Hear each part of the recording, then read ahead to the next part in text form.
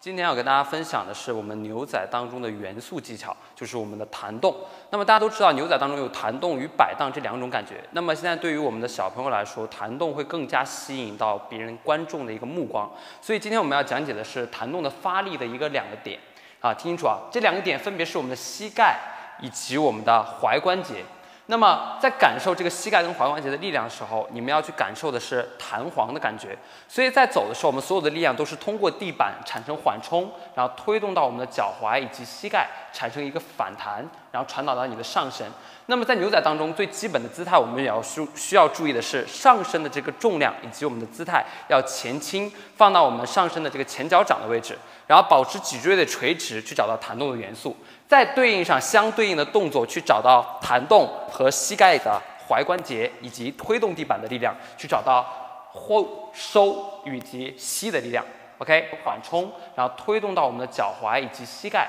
产生一个反弹，然后传导到你的上身。那么在牛仔当中，最基本的姿态，我们也要需需要注意的是上身的这个重量以及我们的姿态要前倾，放到我们上身的这个前脚掌的位置，然后保持脊椎的垂直，去找到弹动的元素。再对应上相对应的动作，去找到弹动和膝盖的踝关节以及推动地板的力量，去找到后收以及吸的力量。OK。